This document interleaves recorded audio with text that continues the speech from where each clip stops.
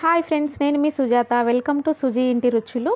ఈరోజు summer special recipe అన్నం వడియాలు ఎలా చేయాలో చూపిస్తాను. మన ఇంట్లో రైస్ మిగిలిపోతుంది కదా మిగిలిపోయిన అన్నంతో కూడా ఇలా వడియాలు చేసుకుని తింటే చాలా బాగుంటుంది అనమాట ఈ సమ్మర్లో ఇలా చేసేసుకోవచ్చు. దానికోసం నేను పచ్చిమిర్చి తీసుకున్నాను ఒక నాలుగు అలాగే చిన్న అల్లం ముక్క అలాగే రెండు స్పూన్ల జీలకర్ర వేసుకుని మిక్సీ పట్టుకుందాము. మిక్సీ పట్టుకున్న తర్వాత మనకి ఈ విధంగా అయితే వచ్చింది.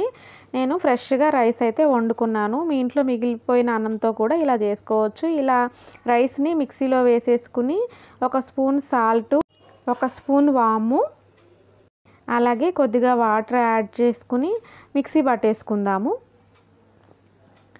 మిక్సీ పట్టుకున్న తర్వాత మనకి ఈ విధంగా అయితే వచ్చిందనమాట. మరీ వాటర్ ఎక్కువ పోసేయకూడదు.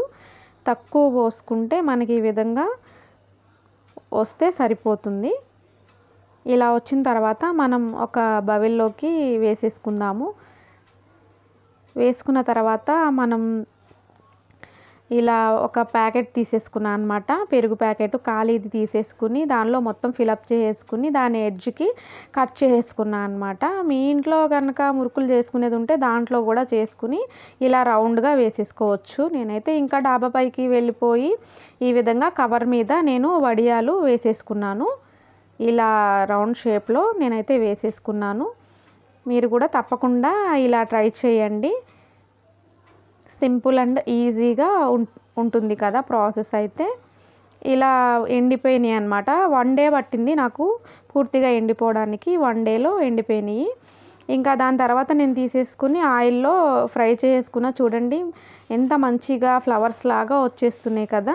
ఈ విధంగా ఆయిల్లో ఫ్రై చేసేసాను వడియాల్ని. తర్వాత చూసుకుంటే చాలా క్రిస్పీగా వచ్చినాయి. ఇలా చూడండి మొత్తం ఇలా ముట్టుకుంటేనే ఇరిగిపోతున్నాయి అన్నమాట. అంత క్రిస్పీగా ఉన్నాయి.